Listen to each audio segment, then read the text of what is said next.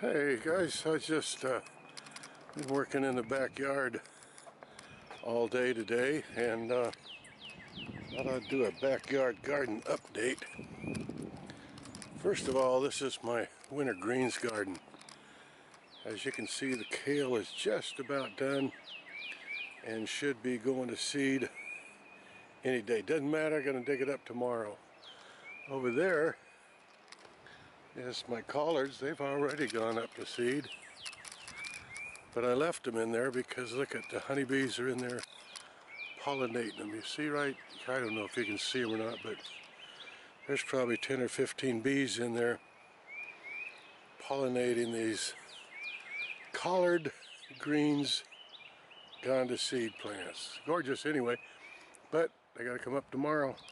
Gotta plow this garden up, get tomatoes in.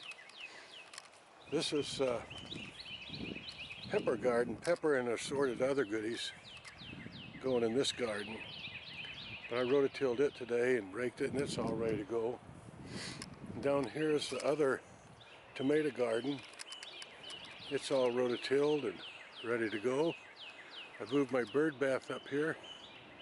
Miss Jane and everybody that knows anything about bird baths said I shouldn't put it in the middle of the garden, but there it is.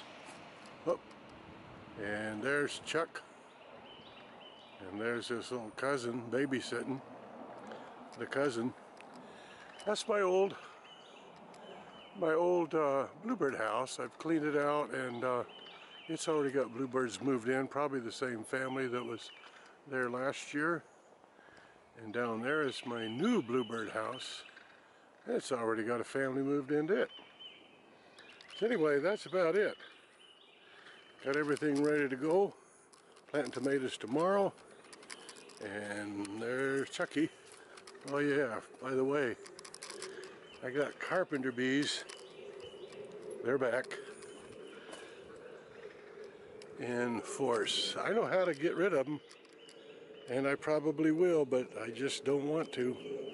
Anyway, that's it for now. See you later.